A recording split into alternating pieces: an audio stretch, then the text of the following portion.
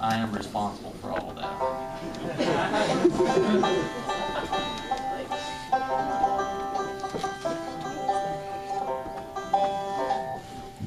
The first he, tune he showed me was uh, Your is Like a Flower.